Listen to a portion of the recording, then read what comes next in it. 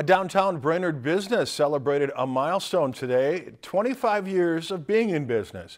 Coco Moon, a locally owned and operated coffee bar located on the corner of Laurel Street and South 6th Street in downtown Brainerd, was founded in 1994.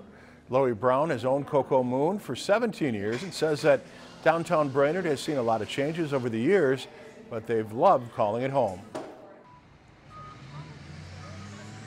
It has been great. I, I have seen the town change so much.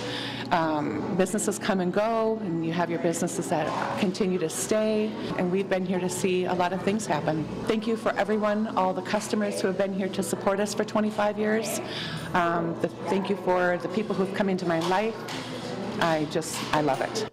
Coco Moon's open every day except Sunday from 6.30 in the morning until 7 at night. If you enjoyed this segment of Lakeland News, please consider making a tax-deductible contribution to Lakeland PBS.